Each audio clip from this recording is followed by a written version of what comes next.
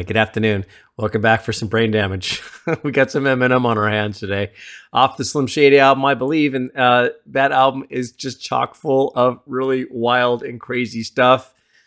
Man, this guy can lay it down, and so I'm excited for this one. I always find it humorous to come across a Slim song, um, because there's definitely a def- definite difference between Slim and Marshall. Um, definite mindset difference for sure. And so let me give you some shout outs on this one. I give a couple. We got Noah Bailey, NXP, and JD Kilpatrick 2000 have suggested it, among others. Uh, sorry for the others I'm not shouting out to you because I do see your comments. I do see them. Um, but yeah, uh, how can I say no? How can I say no to little Eminem, especially to some brain damage? Let's go. Here we go. Scalpel. Hair. Sponge. Oh no. Hair. Wait.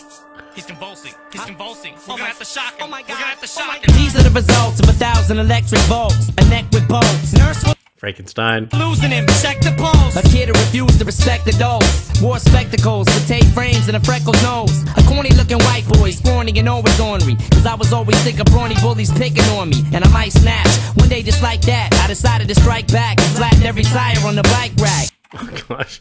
Okay, hang on. Can, may I? May I? Would you just humor me for a moment? May I go back? Thank you. I appreciate it. I just want to. I just want to get the beginnings here again, because the, the bolts on the neck kind of made me laugh a little bit, thinking of Frankenstein. I started to. I was sidetracked about thinking all you know, young Frankenstein and stuff, and I lost track of what he was saying. So let me go back. Wait. He's convulsing. He's convulsing. We're Oh gonna my- have to shock him. oh my We're gonna have to Oh shock my him. These are the results of a thousand electric volts. A neck with bolts. Nurse, we're losing him. Check the pulse. A kid who refused to respect adults. Wore spectacles with tape frames and a freckled nose. A corny looking white boy, scrawny and always ornery. Cause I was always sick of brawny bullies picking on me. And I might snatch. One day just like that, I decided to strike back and flatten every tire on the bike rack. Yeah, you push a kid too far, he's gonna. He's gonna. He's gonna get it. Story time. When I was a kid, I used to always. I lived on the end of a cul-de-sac, and I had to walk down the street to get to the bus. Right, the bus station was kind of like down the street, around the corner, down another street, and I had to sit there and wait. And there's always this little, this kid, man, kept bullying me. Like I, I, I'd bully, I'd be bullied every time I'd walk by the house, and I had to walk by his house because I'm on the end of the cul-de-sac. I had to get down to the street, and he was right at the end of the cul-de-sac, and he'd always be out there to pick on me and bully me and bully me, and it got to the point where at night I'm just a little kid, man. I'm like maybe, I'm maybe nine, ten, you know. I kept getting bullied and I'd I'd go to sleep at night, af- afraid to go to sleep because I knew that the next thing would be consciousness, getting ready for school, and facing that damn bully again. You know. Finally, man, I let him have it. I just beat him up. I mean, I had to. I had. I mean, I didn't hit him in the face or anything, but I I I, I roughed him up a little bit. And it's, what a feeling, man. It's like letting the airs out of the tires in the bike rack. It's like, ah, finally, and he never bugged me again. You know, and it's like, I'm not advocating violence. I'm not advocating that kind of thing. But man, if you're bullied and you are cornered and you're afraid, what's the worst that can happen? You're going to take a few knocks. You're going to get maybe a bump and a bruise, but you're going to have to do it. I remember my uncle telling me, my uncle P, I love the guy to to to the moon and back. But he used to tell me, it's like, Chris, what you need to do is you need to walk up to the biggest, toughest kid in high school and clock him. But I'm, I'm not going to clock him. I'm not going to clock nobody. He goes, well, that's the way you're going to get respect from all the rest of the school. But it's like, no. But that kid had it coming. He had he had it coming. I didn't hurt him too bad. You know, it wasn't that it was just two kids fighting, but it's like I finally had to show him, hey, enough is enough. Enough is enough. And look at man, when you get bullied, man, show a show of hands of those that have been bullied. It's horrible. It can drive a person to suicide. Literally. Literally, it does. It does do that. People have killed themselves over being bullied. And those of you that are bullies or that have been bullies, man, do a gift and reach out to that person. Maybe it's been 30 years since you've seen them or 20 years. find them and reach out to them and apologize and just say, "Hey, I was really bad. I I was messed up, so I messed you up, and I didn't mean to. It was me that was dealing with stuff that I had to take it out on you." And so, those of you that are still caught in the bully standpoint and bully mindset of bullying others, man, knock it off, man. It's just not worth it. And uh, here we go. I get Slim kind of talking a little bit about how he'd been pushed to the point where it's like he's going, all right, I have to take matters from my own hands. So I'm going to see what brain damage is going to bring at this next time, this this next uh, few lines. But come on now, we all know better. Don't be a jerk. Don't be an idiot. Don't be a bully.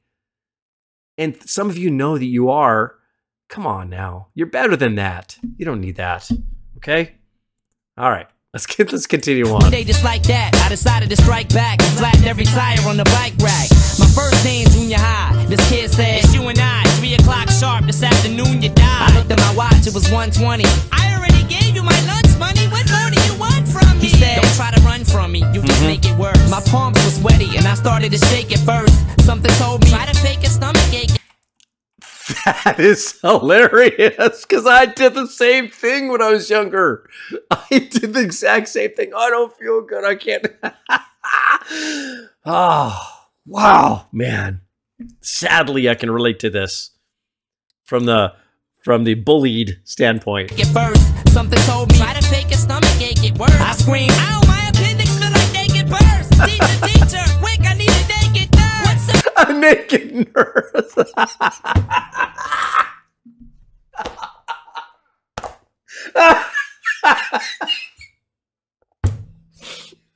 only, only um. Are you? ki-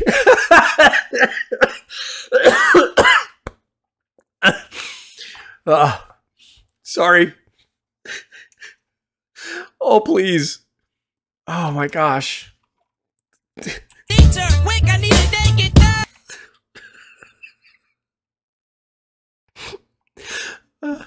I'm crying. So funny. Oh man. What's the matter? I don't know, my leg it hurts. Hey, I thought you said it was just tummy. oh, I mean it is, but I also got a get some extra homework. But don't you wanna give me after school detention? Right.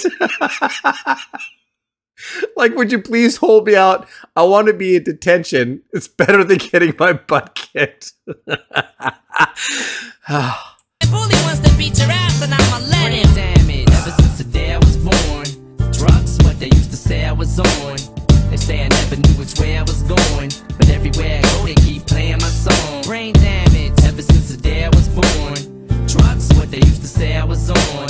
They say I never knew which way I was going, but everywhere I go they keep playing my song. Brain Way before my baby daughter Hailie, I was harassed daily by this fat kid named D'Angelo. Ba- Can you imagine? Where's D'Angelo Bailey today? Probably some homeless dude on a corner with a tin cup.